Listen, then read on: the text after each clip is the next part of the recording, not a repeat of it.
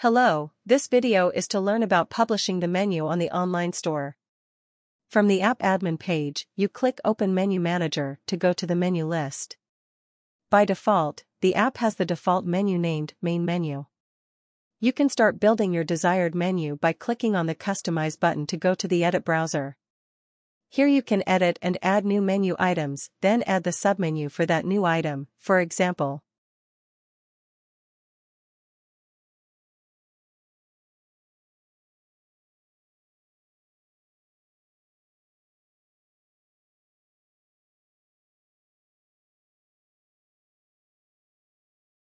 After you finish building the menu, you now manage to publish the menu.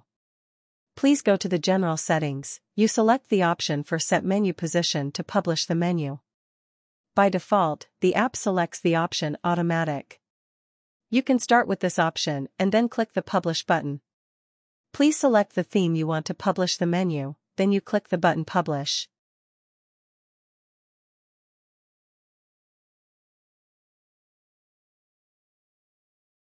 To enable the app on the theme, you need to go to the App Embed Settings page. Please make sure the app is turned on and then you click the Save button to finish. Now you check the result on the front end and here is the result. Hope you success.